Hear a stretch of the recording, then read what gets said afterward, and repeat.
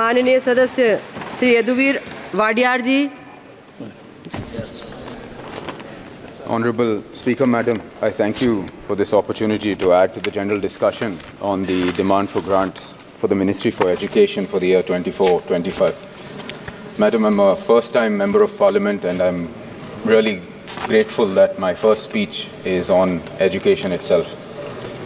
Madam, the vision of the Prime Minister recognizes that education must be amongst the foremost pillars in order to build this Viksit Bharat.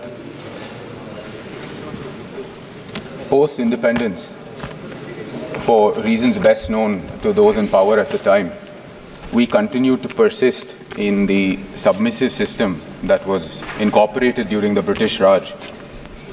And that same system was strengthened until, of course, we had a complete transformation and overhaul with the new education policy in 2020. With this overhaul, we've had a rekindling of the creative spirit in Indian children. We've had our own interests and passions set free. And most importantly, we've been allowed to move on to the path of knowledge, which is a central tenet of the Bharatiya principle, the Jnana Marga. Alongside this, it is extremely laudable that the global goals that we also have, understanding that we are within the global community as well, is something that we are also aspiring to with the UN Sustainable Development Goals of ensuring quality and equitable education for all. Madam, the demand for grants reflects these, especially in the increased spending on education. Since 2014, we've had an increased allocation of around 4.7 percent which, and in this year particularly, is an approximately 7% increase. 73,000 crores being spent on school education, 47,619 crores being spent on higher education. Madam, the demand for grants reflects a further strengthening of the transforming Indian education system, an emphasis on skill-based learning, a much-needed technology-driven teaching environment, and an increased investments in the school education system. It promises a robust system that will power future generations and build successful careers fulfilling their aspirations. Madam, it's a universal truth that education is a bulwark against perpetuation of poverty amongst weaker sections of society. And in this matter, the huge impetus given to accessibility to education is something that we must really uh, praise. The Uchatra Shikshan Protsahan Yojan the specific mention within the budget of 10 lakhs for helping youth who do not qualify for any other government schemes and policy is an enduring central principle of this government's uh, policy. Alongside this, we know uh, the huge push towards improving infrastructure and quality in schools. In the last 10 years itself, we've seen the number of universities go up from 400 to 1100.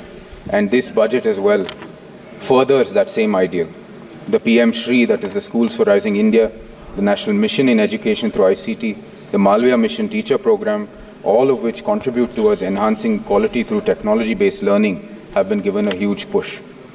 The Samagra Shiksha Program, the addition to the world-class institutions of nearly 500 crores and the central universities' increased spending is reflective of our continued push towards building a robust infrastructure to back up our educational needs.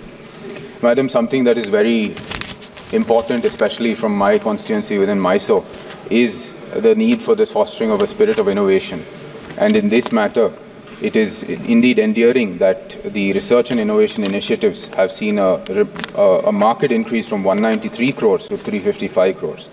Alongside this, Centers for Excellence in Artificial Intelligence, promotion of academic and research collaboration, and the grants to multidisciplinary education, research, and technical education all have received huge push, which is indeed much more enduring as well. Madam, this last point is not particularly part of the Ministry of Education, but is nonetheless very much important because we have finally seen a shift in the perspective in which education needs to be seen from the moment we enter the education system all the way to the point in which we start our careers.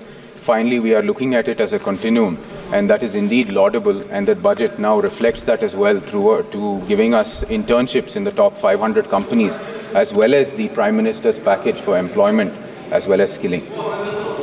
Madam, many, I represent the Mysore and Kodagu constituency Uh, Mysore as a city has many legacy educational institutions and has made a name for itself in modern times as well as an educational hub. Uh, The city, however, I think aspires to greater contributions and we require many more economic drivers.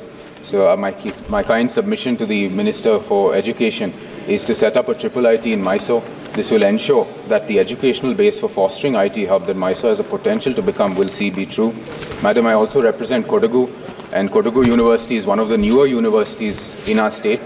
Uh, given the many climatic events, some that we've seen with our brothers and sisters in Kerala as well, which have uh, created tragedies there.